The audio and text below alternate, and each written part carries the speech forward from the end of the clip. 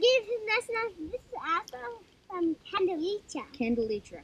So today I'm going to be talking about my crayfish, which I have conveniently placed right over there.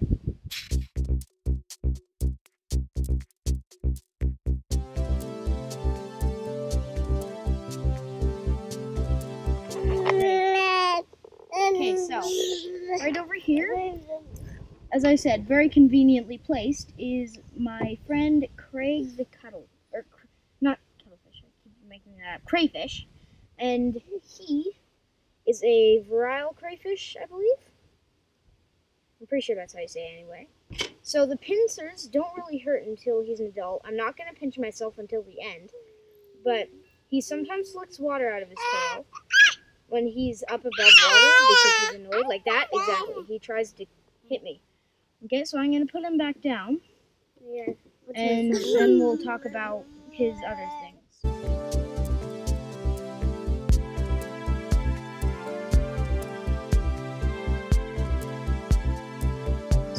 I'm gonna pick him back up again, and then we'll get in a close up for the camera while I say the, his other names. My So let me grab him.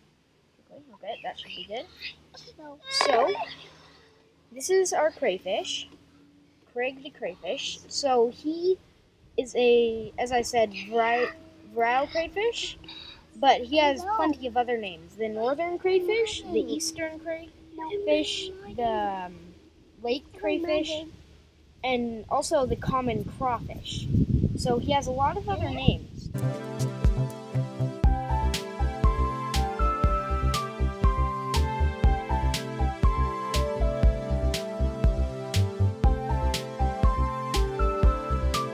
Now you're on. So this crayfish currently is 10 centimeters long. You can also tell that he's quite young because of his claws. Sometimes, or when they are older, their claws have blue tips. But as you can see, this one has more orange.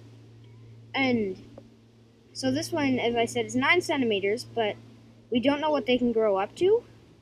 They also have tons of tiny little claws on their other feet, which is pretty interesting. I can feel those ones. They're very strange to feel. They're more like hooks and claws mainly. They also have a little bit of like they look like spikes on their tail, but they're not. They're just little flaps of skin.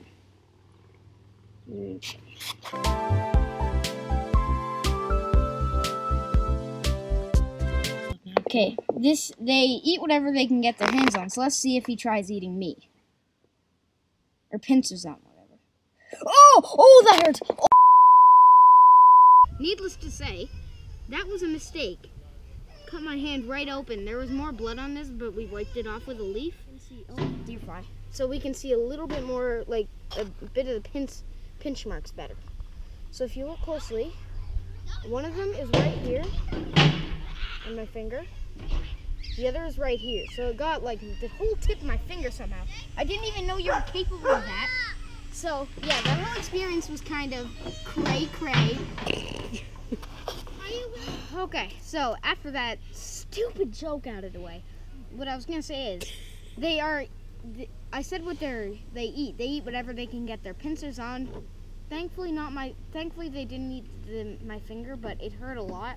So that was a mistake. But anyway, they get eaten by fish and people. Those are their two main predators. They hunt fish, invertebrates, bugs. Okay, so they breed July through August, or July through the fall, sorry. And the mo- the mothers carry their eggs on their back, which looks like straight up mold. If we can find a copyright-free image, we'll probably put it here, but Oh my goodness, it's hideous. They lay their eggs about 150 to 200 every single time, which, to be honest, might even look more disgusting than just mold on the back. I mean, seriously, who would imagine that? They hibernate in the fall in the deeper water. Like when it, when the water gets cold, they hibernate and hibernate in the deeper water because the the higher water is generally colder they hide under rocks and fallen logs and stuff underwater in the daytime, and in the nighttime they hunt. There's bugs around me. Cut, cut, cut. He flicks water off his tail.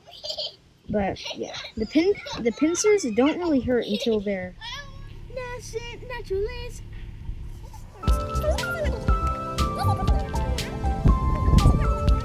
In a world where crayfish want everything to burn to the ground. okay. I think that's a cut.